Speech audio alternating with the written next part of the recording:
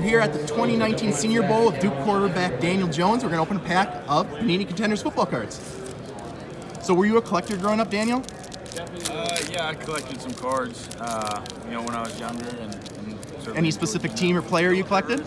Uh, Panthers players. I'm from Charlotte, so I was uh, always looking forward to that.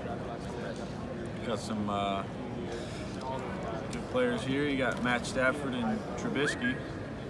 Maybe hold up one that you uh, that strikes you. There we go, Cam, your hometown team. There you go. There's your guy. There you go. What a coincidence. Quarterback and from the Panthers. That was meant to be. That was your pack. There we go. Good deal. So now, how about your signature? Is this something you've been practicing? Are you ready for all the autograph collectors when you get to the pros?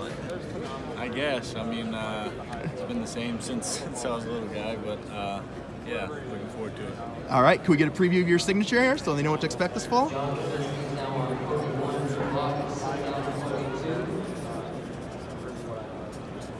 Just hold, maybe just hold it up quick and you get the final. There it is, coming to you this fall.